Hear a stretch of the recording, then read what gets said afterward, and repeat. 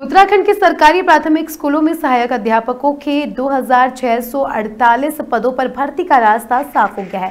Supreme court ने high court को सितंबर 2022 के उस आदेश पर रोक लगा दी है जिसमें एनएसओएस से डीएलएड को शिक्षकों की भर्ती में शामिल करने का आदेश दिया गया था। याचिकाकर्ता के सुप्रीम कोर्ट में अधिवक्ता और राज्य के पूर्व महाधिवक्ता यूके ओनियाल ने इसकी पुष्टि की है। प्रदेश के राजकीय प्राथमिक विद्यालय में सहायक अध्यापकों की भर्ती के लिए शिक्षा विभाग ने वर्ष 2020-21 में 2,648 पदों के लिए आवेदन मांगे हैं। भर्ती के लिए डायट जिला शिक्षा एवं प्रशिक्षण संस्थानों के लिए डीएलएड और बीएड अभ्यर्थियों के साथ ही राष्ट्रीय मुक्त विद्यालय शिक्षा संस्थान के डीएलएड अभ्यर्थियों ने भी इसके लिए आवेदन किए थे, लेकिन सरकार की ओर से पहले इन्हें शिक्षक भर्ती में शामिल करने के लिए, फिर भर्ती में शामिल ना करने का निर्णय लिया गया।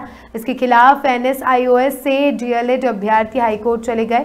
हाईकोर्ट ने शासन के उस आदेश को रद्द कर दिया था, जिसमें इन्हें शिक्षक भर्ती में शामिल ना करने का आदेश दिया गया था। बी टीईटी पास अभ्यर्थी इस फैसले के खिलाफ सुप्रीम कोर्ट चले गए। सुप्रीम कोर्ट के वरिष्ठ अधिवक्ता और राज्य के पूर्व महाधिवक्ता उमाकांत उनियाल ने बताया कि सुप्रीम कोर्ट ने हाई कोर्ट के उस फैसले पर रोक लगा दी है, जिसमें एनएसओएस में डीएलएड के को शिक्षक भर्ती में शामिल करने का आदेश किया गया था। एमकेएन न्यूज़ की डेस्क रिपोर्ट।